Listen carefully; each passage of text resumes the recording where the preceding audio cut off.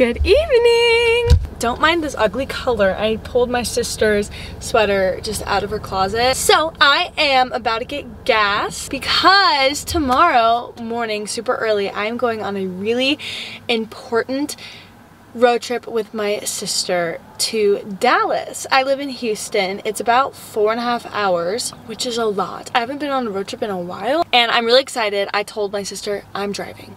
I am driving. There's no way I'm gonna sit in the car and do nothing for four hours. But if you're driving, you can be productive, you can play the music that you like. But anyways, I'll tell you guys more about the trip tomorrow morning. But for now, I need to get gas, I need to get a snack so that I can go to sleep with a good snack in my system.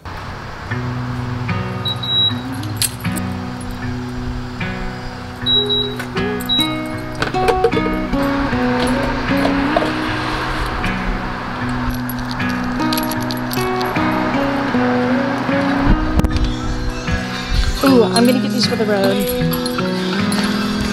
All right, all my stuff is laid out. My alarm is set. I'll see y'all in the morning.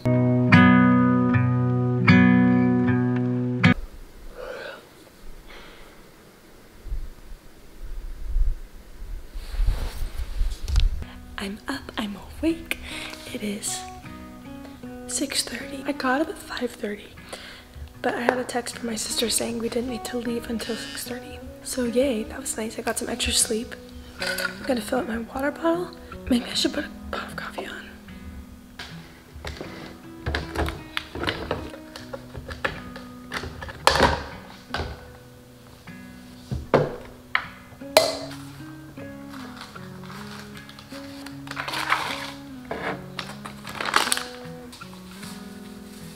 I brought a little mason jar for the road and it has a lid and everything so it'll be really secure.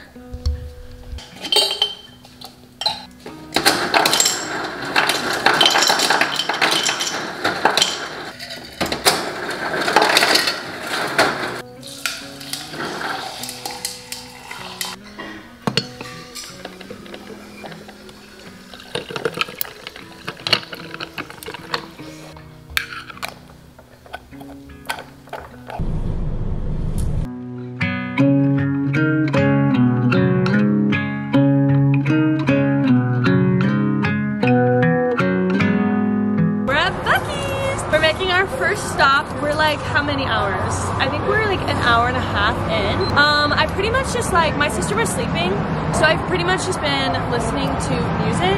That work? I don't know my pin.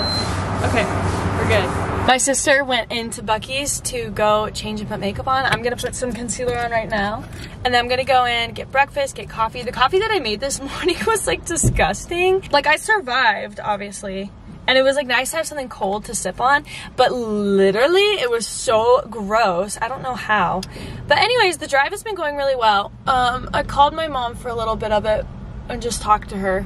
Like I literally whispered because I was just kind of like wanting someone to talk to. I always have a lot of energy in the morning, and so I always am like really social in the morning. And so my sister was sleeping, so I was like, um, what do I do? So I talked to my mom, of course. Um, I'm just really excited to get to Dallas. It's been a long time since I've been to Dallas, and I'm excited to see Coffey. And when my sister gets in from Buc-ee's, we'll kind of explain what it is we're doing.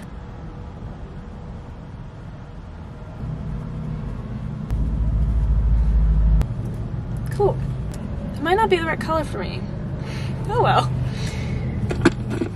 I'm really glad that I got to drive because when I first found out we were going on this trip and I was like, okay, I'm going with my sister, like this will be really fun, but like, is she gonna let me drive? I can't decide what I want. I know I need to eat. Okay, apples. How do they look though? Hmm.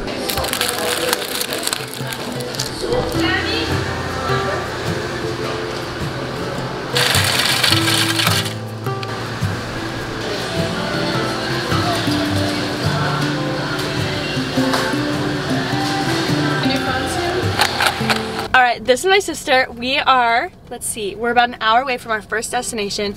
The whole point of this trip is that Lily and I are social media managers. Wow. Kind of crazy. It sounds so official.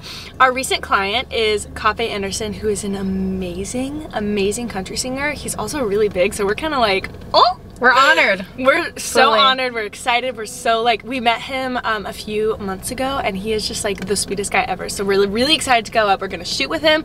We're gonna do photos, videos, short form content. It's gonna be just like the funnest day, and it's so great that he's in Dallas because otherwise we'd be like flying somewhere to like Nashville if you lived in Nashville. So it's really great, and we're really excited. It's gonna be just like a busy, busy.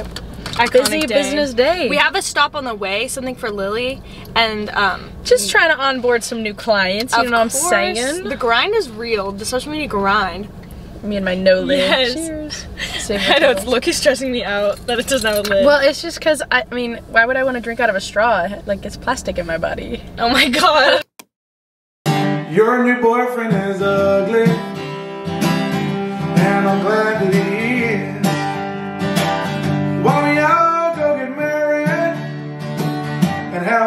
ugly kids? Hey, when I was with you, you didn't treat me right. Girl, I was good to you, but that new boyfriend, he ugly, and I look better with you. There's a cold one poured at the end of the bar.